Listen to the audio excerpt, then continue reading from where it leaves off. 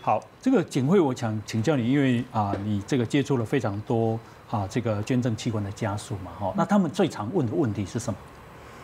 嗯，他们会想要知道是第一个就是手术的外观是什么，哦，对他们会在乎的就是他到时候看起来是不是能够安心。嗯，所以我们在这个流程当中一定会告诉他，我们所承诺的，它是一个标准的外科手术，我们应该会做的遗体的护理修复，包含手术伤口的缝合，嗯，那或者是说我们有替代的，比如说义眼片，好，会去做这个部分的一个伤口的保护。可能啊？你如果你要捐，你捐皮肤，那皮肤怎么你怎么有办法？皮肤我们会去做包扎，但是我们会露出来的部分就不会取到。哦，对哦，所以穿衣服会露出来的部分，它看起来还是很正常的。哦，像这类的被对对像这个就不会去取到对啊，但是有要大片，哎对大，我们是大片哎哦，大腿啦、屁股啦那种，当然那种地方正好都有衣服遮住，哦，那看不到对对对对啊，好好啊，江医师你拢拢拢提起来拢完完完好如初对对，哦，啊，你不是有讲那个眼角膜刚贴掉啊？他所以他他都要紧后有在讲义眼片的是安尼，它里面会填塞，然后会有一个有一层，你其实就像隐形眼镜的概对念。像眼镜，对对。哦，对。那家属通常有没有什么误解？呃，他们会担心，就是这这个中间会不会有一些，就是呃，他们做了这个决策以后，医院就放弃他们。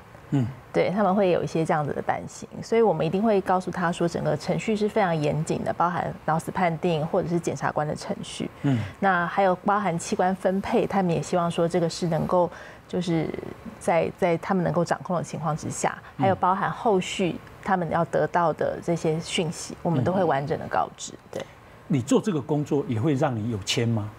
呃我很早就签了。很早就签了。对，哦我国中的作文的时候，我就剪了一个简报。哎，对，然后那个时候就是会写周记嘛，嗯嗯，对，然后那个那时候我就看了一个器官捐赠的这个这个新闻的简报，我就贴周记，我就写我对于器官捐赠的想法是什么，嗯嗯，所以我很早其实就签了，啊，你对生命的体悟这么早，我都写三民主义统一中国。而且我们全家其实都很认同这件事情。我 真的哦，对爸爸妈妈，你有问过他们吗？是啊，他们也都有签啊。他们也都有签啊。对啊，但是因为我妈妈她本身也是癌症，她就是说，那其实我就只能捐角膜啊。哦，已经了不起了啦。对啊，爸妈都还在吗？对对对，哦，那很好。那你说有遇过母亲节当天要决定替孩子做捐赠的故事？啊，对，那其实是在疫情的那个时候很艰难的时刻。嗯嗯，那她其实是一个有三个孩子的妈妈。嗯嗯，那她跟女儿去市场买菜的时候，回到家爬公寓爬到五楼，在三楼的时候就倒下来了。嗯嗯，对，那就后面其实发现其实就是那种致命性的心律不整。嗯嗯，那女儿其实那时候都多大？呃，妈妈大概四十多岁，啊，儿子呢？女儿的话大概是小二。小二。对，那所以那个时候其实女儿很机警，赶快跑到五楼去求救嘛。那很快的就一一九来处置，以后送到急诊，可是还是有经过一段时间的脑部缺氧。那我们也知道，脑部其实六分钟以后，它的脑细胞其实就是已经有一个呃决定了后面的预后。嗯嗯，对，那其实那个时候要做这个决策是病人本身，妈妈本身她自己有签署器官捐赠卡。嗯嗯，那病人的妈妈等于就是外婆也是知道的。对。可是，在那个当下，其实呃要做这样的决定，其实还是很不容易。嗯哼好，那他的孩子那时候还要参加会考，所以他们是决定说让孩子是不是就是不要影响。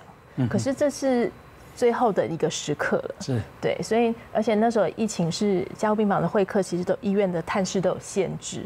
可是她她应该是一个非常非常好的妈妈，所以她的很多的朋友、同事、闺蜜都来送她。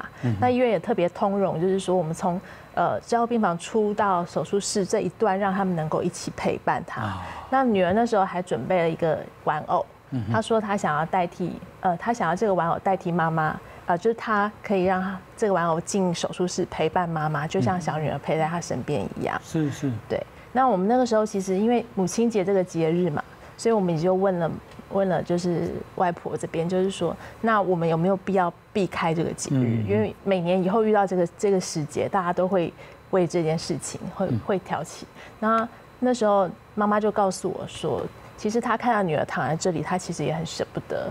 他如果今天他能够以一个悲伤母亲的心情去帮助其他的母亲，嗯，他们的孩子不要因为等不到器官移植而学会会惊艳到这个生离死别，是。所以他愿意，他愿意在这个时刻，他愿意这么做。哇，所以那个时候，其实我们就一路送到手术室的那个过程当中，妈妈其实还是一直就牵着女儿的手，嗯嗯。那小女儿也是牵着妈妈的手，嗯所以最后我是牵着，等于是外婆跟小女儿的手，让他们能够放开。啊，对然后呃，我们那时候他其实很纠结，就是说，其实小朋友会不会担心，就是说到时候看到妈妈会觉得舍不得、不想。我就说，我就蹲下来跟妹妹说，我说我知道你心目中妈妈永远是。就是最爱你的那个样子，嗯嗯然后所以他就告诉我说他，他觉得妈妈一样，好、都是一样，他只是睡着了而已。是呀所以其实最后看到妈妈的时候是很安详的，所以他们也就能够理解做这件事情，真正是对于这个无可避免的死亡的当下一个抓住生命的意义。啊，你干嘛让安爱按说服大家多捐？我觉得很重要一点哦，就是应该叫做要要让大家觉得这个环境是友善的，哦嗯嗯，这个环境是友善，不管是政府，不管是民间哦，要这个环境要让他觉得它是一个友善的捐赠环境。哦，好啊，现在觉得不友善吗？那友善的捐赠环境其实很大的，有很多面向可以考虑。像刚刚景惠讲的，我们可以用温暖的这一方面来走，哦，所以就是哦家属陪伴啊，那社公司要陪伴等等。嗯，但事实上也可以用另外一个方向是，当然这是多方向，没有谁对谁错了哈。嗯就是说荣耀的方式来看，哦像，诶、我们刚刚讲王冠冠军，我们就给他一个所所谓的 Road Honor，就是荣耀之路了。荣耀之路，他从我们的神经外科加护病房出来，一直到一直到开刀房中间，我们那时候是试试看做做看，那我觉得效果不错。我们的因为那天是礼拜天，嗯嗯，在值班的，包括检验室的，包括血库的，包括那个加护病房的，有机会这个放下他的 duty 的人，嗯嗯嗯。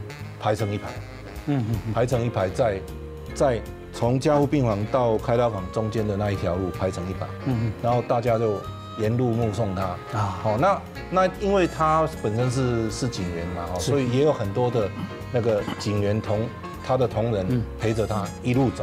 ，OK，那一路走，老百姓就觉得，哎、这是什么情形那？哦，哦怎么会那么那么了解了解，那么壮观呐、让这个事情让他就就变成一个很骄傲的事情。对对对，所以